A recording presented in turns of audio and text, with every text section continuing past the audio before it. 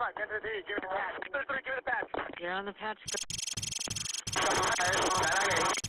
Prairie and 168. Prairie and 168 units respond in 3 or less. 31 southbound on Prairie towards Redondo Beach Boulevard. Units Boulevard, one down.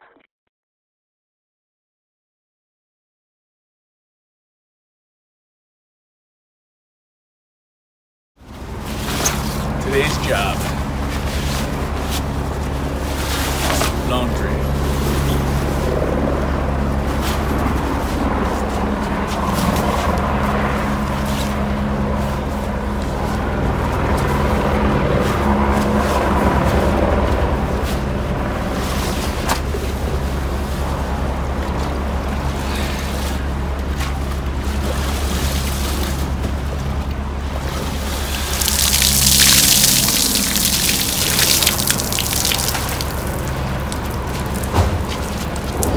Gang deputy extraordinaire.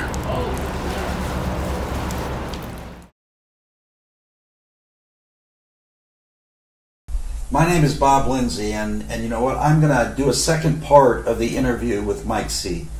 And the reason I say that is interviewing isn't for my forte. Law enforcement is, and that's why I'm running for sheriff. But you know, off camera, I was talking to Mike after we got done with the interview, and I was asking him a few more questions, and up popped a whole lot of other details about what's happened. For all of you out there, if you don't know this, the sheriff's department has about 8,500 deputies. We, we don't have that many now because there's so many vacancies. There's probably about 1,500 vacancies right now when you count deputies and sergeants and lieutenants. That's a lot of vacancies. But he also has those 1,100 investigations going on deputies. Now, some of them are at home, relieved of duty. That would mean maybe 159. He's hiding a whole bunch over to the side. He doesn't want to put them in that category and he puts them in a category called fitness for duty. And it's a ridiculous category because they all should just be lumped in. They're not. They're not at work. But there's different ways that the sheriff does this. Some of them are sitting on the couch getting paid, doing nothing, but they're prisoners because they can't leave their house. They got to stay at their house from eight to five, Monday through Friday. And you try staying home eight to five every day for a year. How would you like that? it, it would drive you insane. And that's what's happening to deputies. And then some deputies they put somewhere else, like they did Mike, and they put him at the Emergency Operations Bureau doing tasks. Now, the sheriff of Los Angeles County, I'm told, has told the press that deputies don't do menial tasks. They're not given menial tasks if they're placed off duty. We know that's not true because we've heard Mike's story. But aside from that, and I'm going to be asking Mike in a second, there's other ramifications that come with investigations and discipline and all of the other things that this sheriff is doing. So, take for instance, he gets in an off duty argument, which maybe deserves a couple of days off, if he's at fault at all. Maybe he's not. But rather than getting a couple days, what they do is they jack up the days to a really high level to destroy your career. They give you 15 days off because once you get more than I think it's 10, you're messed up for promotions, for transfers, for bonus positions, for everything else. So this is just another way to play with the deputies, to show them who's boss. And here's a guy who served 13 years, been in four shootings, and this is how he's treated. So, Mike, I'm going to ask you a simple question. I know what the answer is, but I think they need to hear it from you. Were you assigned any menial chores or duties?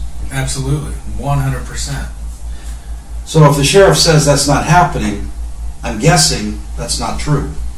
I'm guessing he does, he's just going to pretend to not know what's happening. There's no way he doesn't know. People, have, I'm sure, told him about it. So, tell me what else happened once you went over there, because I, I understand you're a pilot.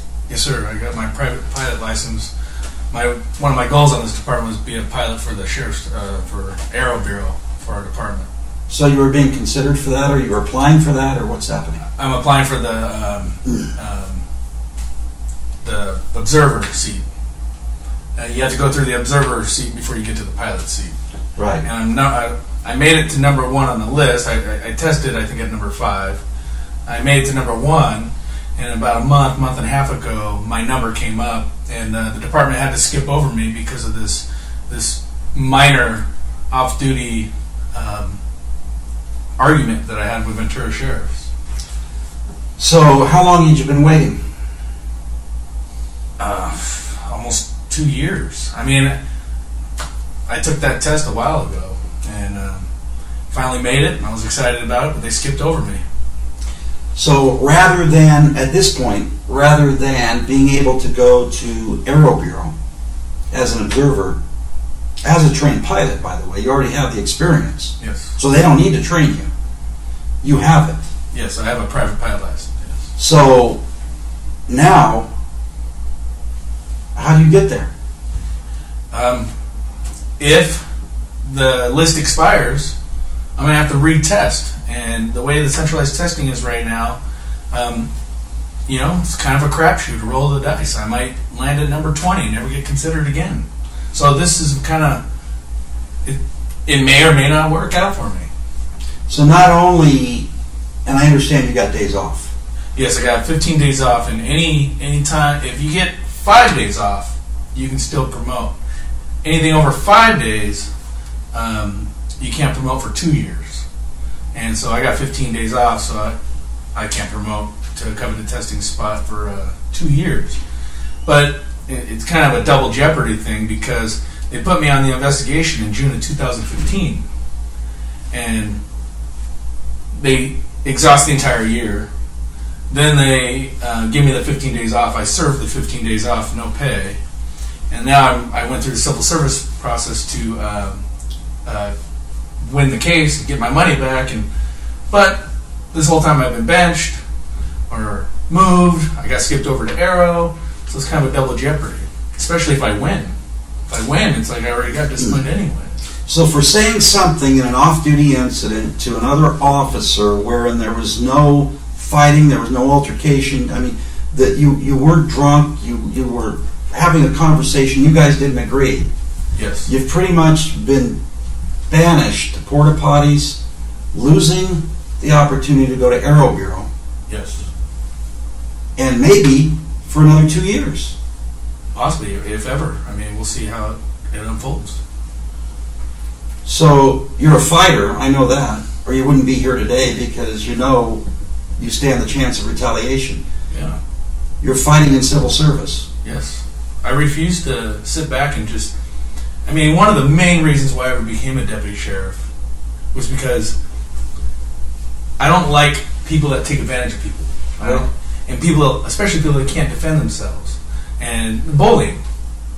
And now I'm here as deputy sheriff, getting bullied. I, I just refuse to sit here and take it. I, I won't. I mean, I've, I've made mistakes in the past of my career, nothing big, and I, and I, I will stand there and I'll tell them, yeah, I messed up. I've never had a problem with that. And uh, when you see how the department is, how political it's become, it's, I mean, they're, they're more worried about the bottom line and money and running as a business rather than a service for your communities. You know, and that is what we're seeing all over the department. You know what? Like I said earlier, he's human. And given his experience, and he has 13 years on, I'm going to tell you right now, public, you need to know this. Invested in him is probably well over a million dollars of training, experience. When you start out and you talk about him going through the recruitment process, the background process, he then has to go through the academy. After he graduates from the academy, he has to go to custody training. After custody training, he goes through four years, three, four, five, sometimes seven years of custody. Then he goes out to Compton Station, where guess what? He starts all over again. And he has to go through patrol training. Now he gets patrol training. But before that, you have to go to patrol school, then patrol training. And then you do your thing out in Compton, and finally you become a, a field training officer, and ultimately You reach the pinnacle of where he got, which was Operation Safe Streets. And now we throw him away. You're talking over a million dollars of financial asset. Forget the human aspect for a second. The sheriff is throwing away a million dollars. And you know what? I hear so many deputies getting frustrated. It's guys like Mike that say, I've had enough. And they leave the department. They leave the department and they leave a hole that is going to take 13 years to fill. 13 years. Why? Because he had a discussion with somebody in Ventura County. That's it. So, Mike, I understand everything that you've told me about not being able to go to Aero, about the part, the menial task that you're doing right now, um, the the fact that you personally, your life's already being disrupted because you have the divorce going on. I feel like they used my divorce to break me. You know, they saw that struggle, and that's why the freeway therapy and taking your overtime away. You know, they almost use it as leverage. Well, what would you want to say to the rest of the deputy sheriffs out there? Because you have the courage to be here. And I'm not saying anything to you deputies like you need to be sitting here.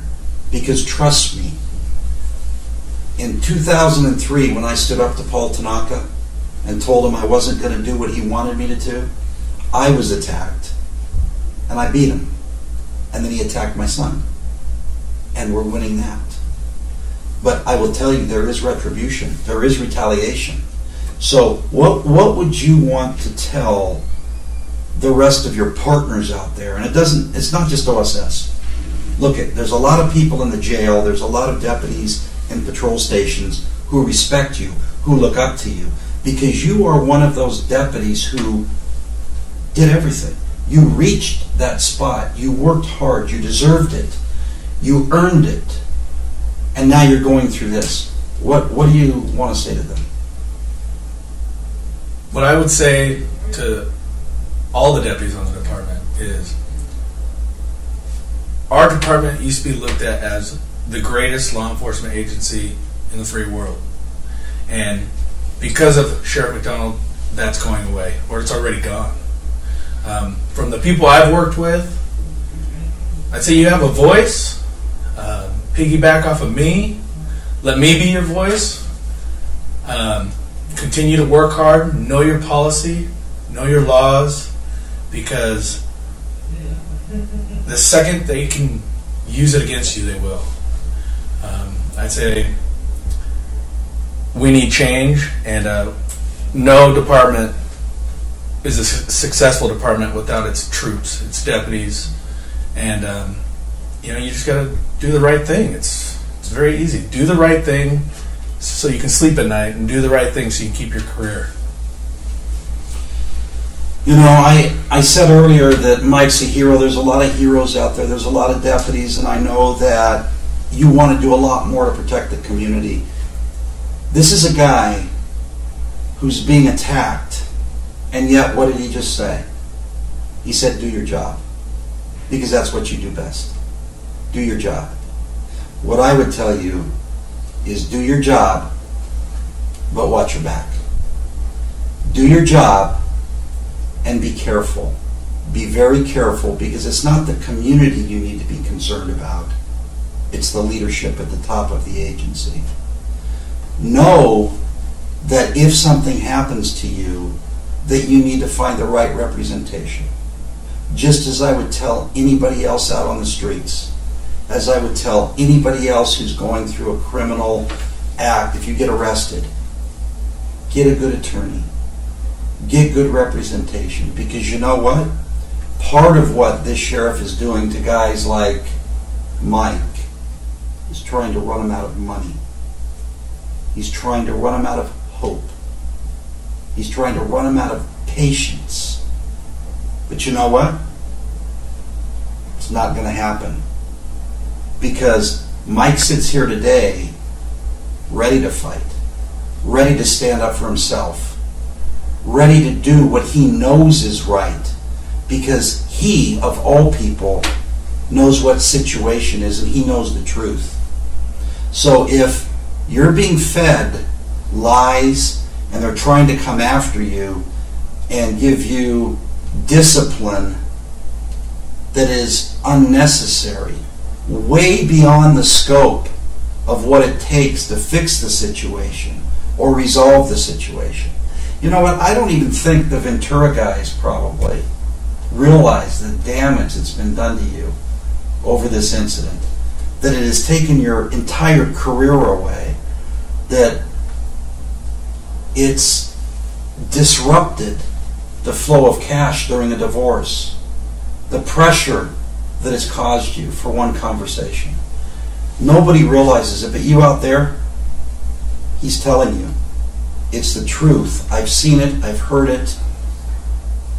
And every deputy out there needs to understand that this is not just a story. This is Mike's story. And it could be your story tomorrow.